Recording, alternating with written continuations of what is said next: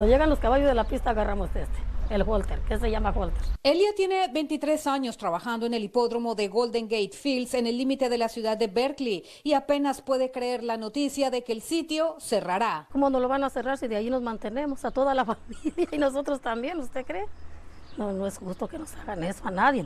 Fue como un balde de agua fría. Nos agarró con la guardia abajo. José trabaja en el hipódromo desde hace 35 años y dice que el anuncio afecta a todos en la industria, muchos de ellos latinos que trabajan como mozos, paseadores, jinetes e incluso propietarios. Sí afecta, yo creo que a más de 500 personas. De ellos el impacto sería aún peor para unos 300 que además viven en el hipódromo. Pues también tengo que, que buscar dónde vivir, pagar renta y no pagamos renta. Pues como le digo, de la noche a la mañana no nos no nos dieron o sea, tiempo. Según el anuncio inicial, el hipódromo cerraría en el mes de diciembre. Esto es en medio del año escolar para los hijos de Lucila. Lo que más me preocupa ahorita es de que yo tengo tres niños y me preocupa su escuela, que los voy a tener que mover de escuela. Según el grupo Stronach, propietarios del hipódromo lo cierran para concentrar sus actividades en el sur de California. Aseguraron estar comprometidos en cumplir con sus obligaciones laborales y efectuar un plan de transición significativo.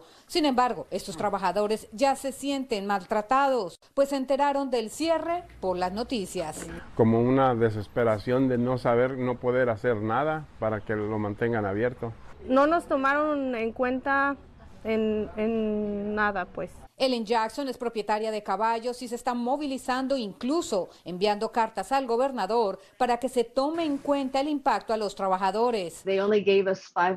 Solo nos dieron cinco meses para tener un plan para todos ellos. Para muchos este es su único trabajo. Ellos construyeron esta industria y ahora varios no podrán ni siquiera transferirse. Es horrendo. Estos trabajadores dicen que si no se puede evitar el cierre, al menos les den más tiempo. No contamos para ellos, que ellos nomás piensan en su negocio y no piensan en nosotros. En Pleasanton, Pilar Niño, Noticiero Telemundo 48.